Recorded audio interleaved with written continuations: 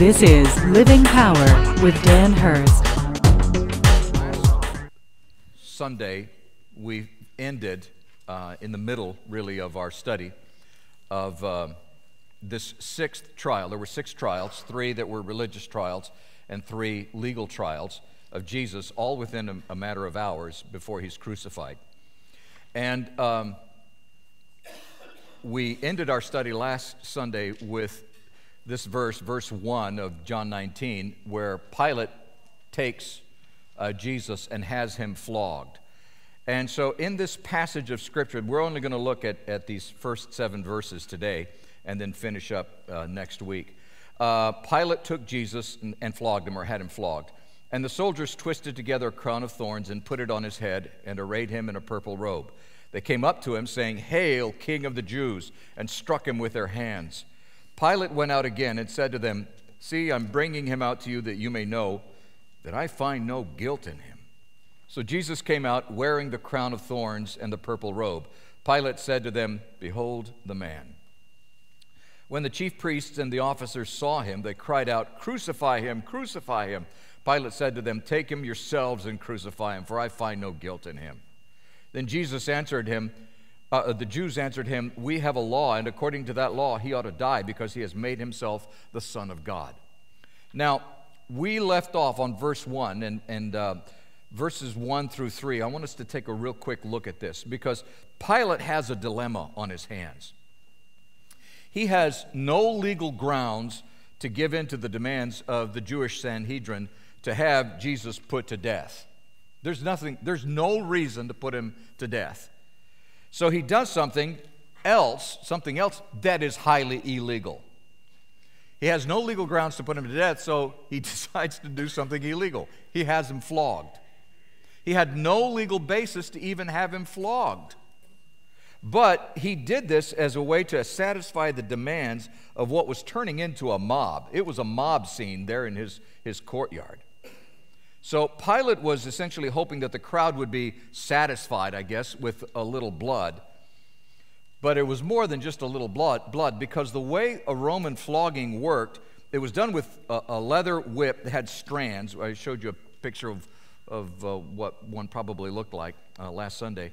Um, it was a wooden handle with some cords came out, and there would be uh, metal or lead, pieces of lead uh, little lead balls is what they were. looked kind of like fishing lure, you know, weights uh, embedded in it. And then sometimes they would tie in these little pieces of bone. It was kind of like a, they looked like little pieces, like, looked like butterflies actually is what they, little pieces, but they were sharp. And sometimes it was made out of metal, sometimes out of bone. And that was also in that. And so they'd whip uh, the person that they were flogging, and the, that weight of the metal balls and that bone would just literally rip into the skin. And it was, it could, it was so um, damaging that it could actually cut all the way down to the bone. And they had, um, they had a, generally a rule that you couldn't flog anybody more than 40 because 40 was, was probably going to kill somebody. So the Jews would always go with 39 because they didn't want to break the law. Uh, but Pilate was not under that law. They could flog somebody as much as they wanted to.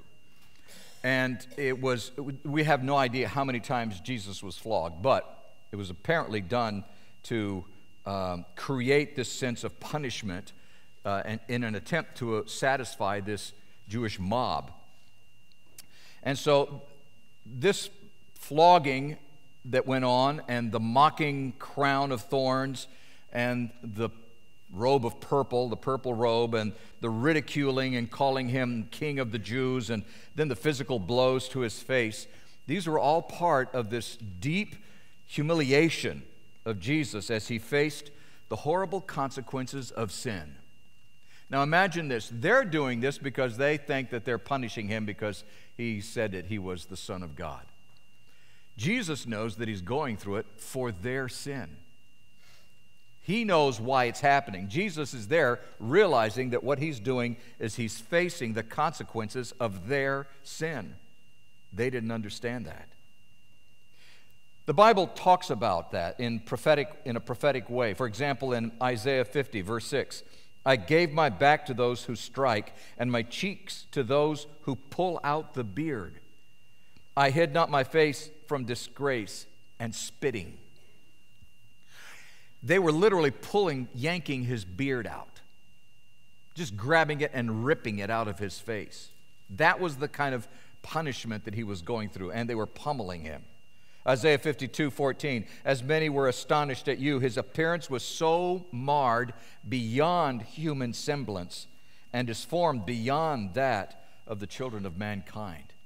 He was so beaten and so swollen from the beating that he was unrecognizable. Isaiah 53, verses 3 through 5, he was despised and rejected by men, a man of sorrows and acquainted with grief, and as one from whom men hide their faces, he was despised, and we esteemed him not.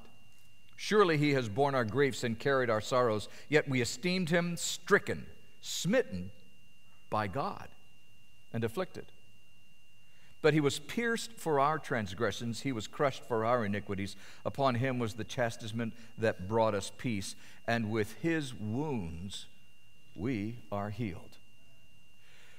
Now, the Gospels of Matthew and Mark add that the soldiers were spitting on him. So there was this incredible humiliation, this thing that just went on just in the short time by that Pilate ordered in order to try to satisfy this mob. And one of the things that they did was they took this crown of thorns and jammed it on his head. Isn't it interesting that they would do that to Jesus? They didn't do it to other people. Other people didn't get crowns of thorns. But they did this to Jesus. And there's a reason for that. They didn't understand that what they were doing. But that crown of thorns is really, really important to understand. That crown of thorns represents the curse that was caused by sin. Back in Genesis chapter 3, look at this. And to Adam, he said, God speaks to Adam, because you have listened to the voice of your wife and have eaten of the tree of which I commanded you, you shall not eat of it. Cursed is the ground because of you. In pain you shall eat of it all the days of your life. Thorns and thistles it shall bring forth for you. The thorns represented the curse of sin. That's what sin did. It brought in pain and suffering into the world. Adam and Eve's choice to rebel against God brought pain and suffering. And the crown of thorns represented that pain and suffering. It wasn't that they were, they were mocking him, calling him a king, but the thorns was a reminder to all of us that he bore the curse of man's sin. And the purple robe reminds us that he was a king who was rejected by his own. They had wanted a king. He actually was the, le- the legal heir to the throne of David.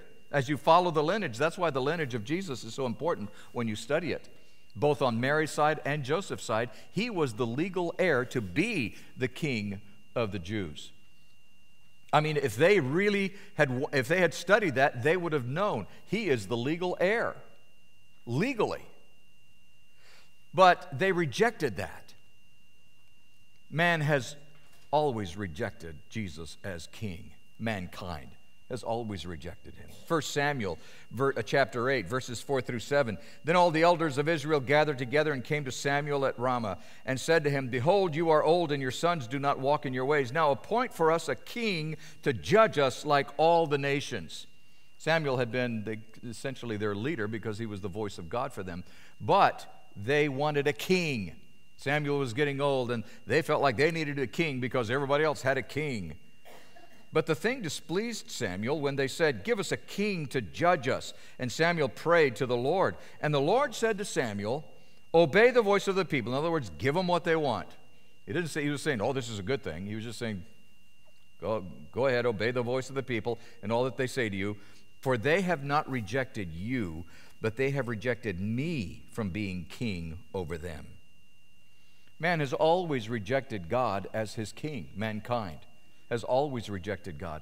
And so, what Jesus was going through was this culmination, it was this, this microcosm, uh, this, this picture, if you will, of, this, of what has happened cosmically and uh, throughout, the, throughout the universe of what has happened with man and God where man brought the curse upon himself and Jesus bore it.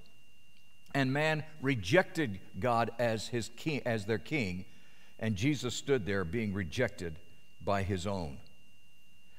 And so the soldiers bring him out.